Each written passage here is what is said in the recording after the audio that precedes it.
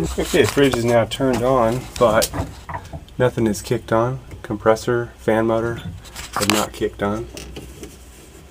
Turning it colder.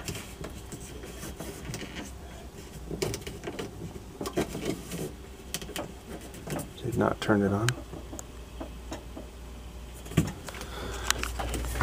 And we'll take a look behind the freezer motor and the freezer channel here. Let's see what we have going on. Make sure everything's plugged in. And it is. Everything's plugged in there. So, question is what's going on?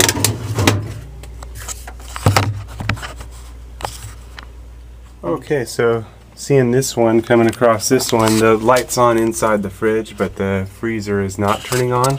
Good thing to check here is the defrost timer, and it's usually located up inside here, up inside this middle control box where your temperature control and all is. And usually what you can do is turn this with a flat blade screwdriver. So that's what I got here, my flat blade screwdriver. Gonna insert it up there and just rotate it until it clicks. Let's see if I can get you a view from here.